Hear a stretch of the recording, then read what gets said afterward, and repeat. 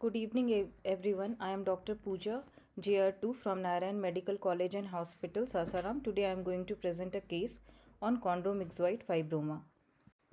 Introduction Chondromyxoid fibromas are extremely rare, benign, cartilaginous neoplasm that account for less than 1% of all bone tumors, most commonly diagnosed before 30 years of age, mostly during second and third decades. There is no sex predilection in case of C- CMF.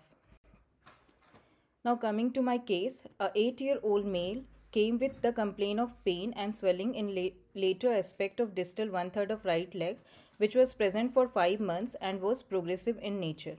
X-ray was performed and these are the radiological findings. Multiloculated lucent lesion which was eccentrically located in the metadiaphysis of distal left tibia having narrow zone of transition and thin sclerotic rim was noted.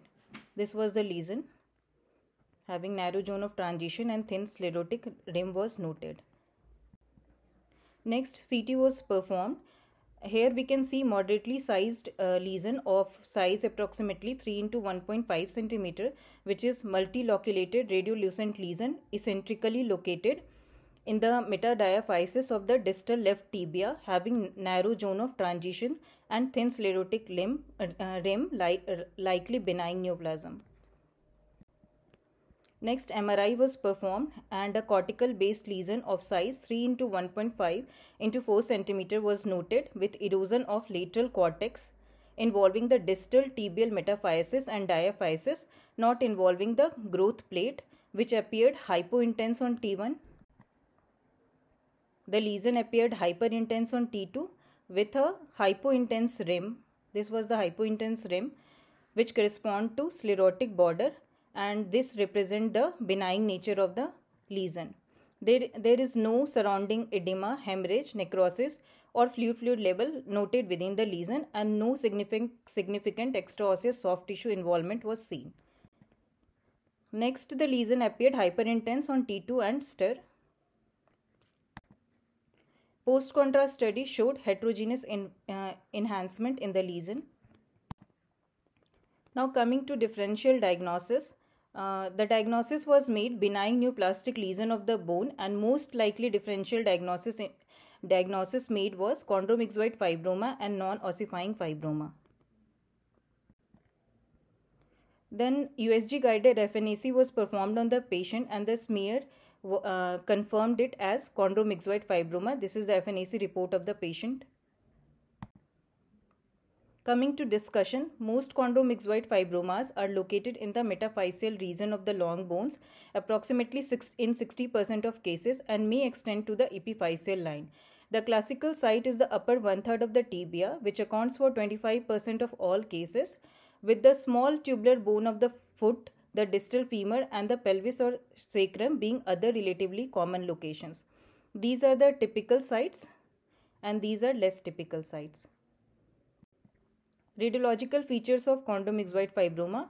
Mostly tibia is uh, involved in 50% of cases. Uh, the lesion is metaphyseal. It is a geographical region which is eccentric, oval or round.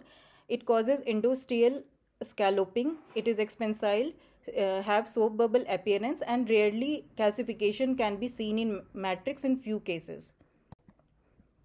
Now coming to MR findings on T1 weighted image, it is isointense to skeletal muscle and internal hyperintense foci can be seen in 37% of cases. On T2 weighted imaging, two patterns can be seen. First, may have peripheral band of intermediate signal with central hyperintensity. Second, diffusely and homogeneously hyperintense.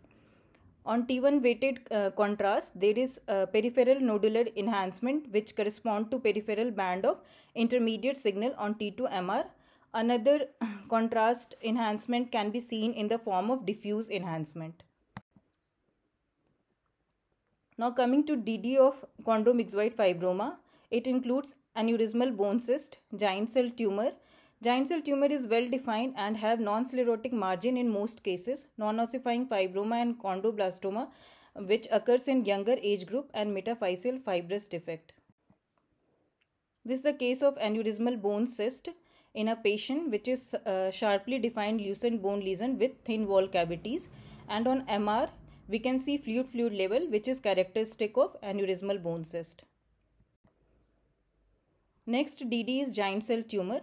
This is the AP and lateral X-ray of the knee which demonstrate lucent lesion located eccentrically within the distal uh, lateral femur abutting the articular surface. And later it was confirmed as giant cell tumor pathologically also. On MR, a well-defined lesion in the distal metaphysis and uh, was seen, which extend which was uh, which extend to the epiphysis of the right femur and was hypointense on T1 and hyperintense on T2 and STIR and was uh, and show enhancement on post contrast study. There was small uh, cystic lesion also uh, there was a small cystic lesion within the lesion which was also demonstrated on t2 weighted images Next DD is non-ossifying fibroma. This is the ankle X-ray which demonstrate a well circumscribed eccentric lucency in the diaphysis or metaphysis of the tibia. The margins are sli slightly sclerotic. There was no periosteal rea reaction and it doesn't abut the growth plate. It was a case of NOF. MRI demonstrate an eccentric well-defined lesion composed of soft tissue which was uh, hypointense on T1 and T2 both but shows a post contrast enhancement. It was a case of uh, non ossifying fibroma.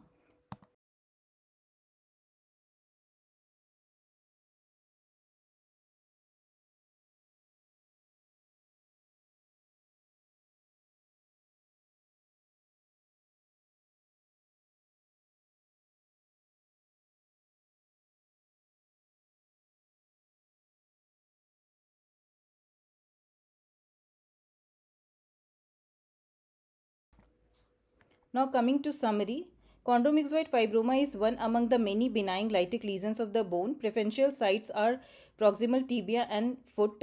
Although the name suggests that it is a chondroid lesion, but calcification are usually not seen.